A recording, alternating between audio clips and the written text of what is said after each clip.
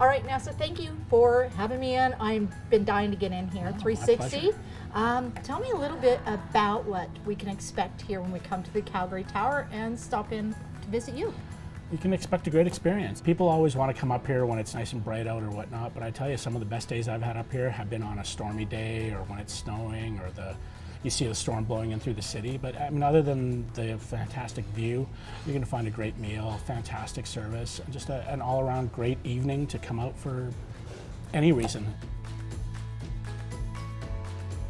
So, do we see a lot of like uh, local tourism, like people staycating? Because that's really what I want people to get out and explore their city. Yeah, the majority of the time when that happens, it's uh, someone's got family coming in to visit, so we'll get they'll be like, oh, we have to go here for one night, and they'll all come up, enjoy the observation deck up above, and then come down for dinner right afterward, or you know, someone's celebrating a birthday or an anniversary. We'll get a lot of the local populace for that.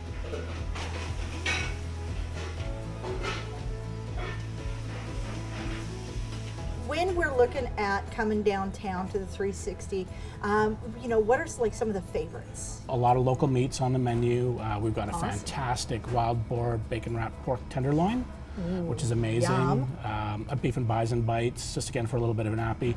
Desserts all made in house. Everything that we have is made here, and as when we can get it, it's as local as humanly possible, sustainable. So we like to keep within that mindset. This is a great stop for my staycation. Thank you. No, my pleasure. I'm glad you could make it.